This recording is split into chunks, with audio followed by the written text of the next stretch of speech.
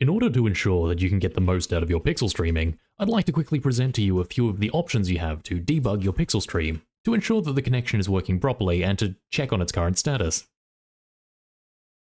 As you can see here, we have a standard signaling server, turn server, and a connected streamer all running at the moment.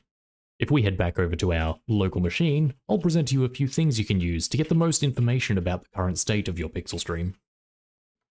First up, let's have a look at a page to determine the actual connection type we're using, be it stun or turn.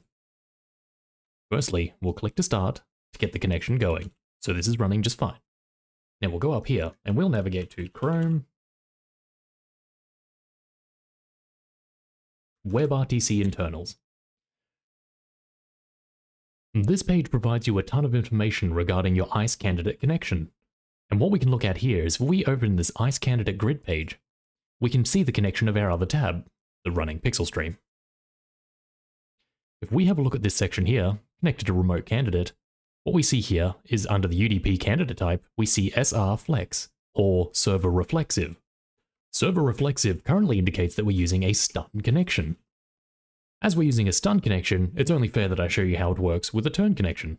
So if we head back to our into our stream here, we'll open up the front end settings panel and we'll enable force turn. Restart that. Close this panel. Alright, we're now reconnected and we can see at the top here force turn equals true. Let's head back to the WebRTC internals and look for the appropriate page. You can see here on the far right, we've got our force turn connection. We'll open up the ICE candidate grid again, and you'll see here relay. Relay indicates that it's now no longer using the stun server reflective connection, but is relaying through the turn server. Fantastic. On top of using Chrome WebRTC internals to determine the type of connection you currently have maintained, there's also information provided through the pixel streaming application itself. If you're interested in the current stats of the active stream, you can use these console commands here. Firstly, we'll use tilde to open the console and we'll go stat pixel streaming. Great. Stat pixel streaming provides you a bit of basic information about the current uh, stream quality. This is very similar to the information provided in the information panel here, but there's just a bit more involved. Additionally, we'll undo that command, and then we'll enable stat pixel streaming graphs. Stat pixel streaming graphs shows you the current state of the encoding, and is a, also a very helpful thing to determine whether or not your quality issues may be through the encoder or the application itself. Alternatively, if you're using Firefox, it does have its own internals page as well. The URL for that is about colon WebRTC, so a little bit simpler. Now you can see here, we've got our tabs available.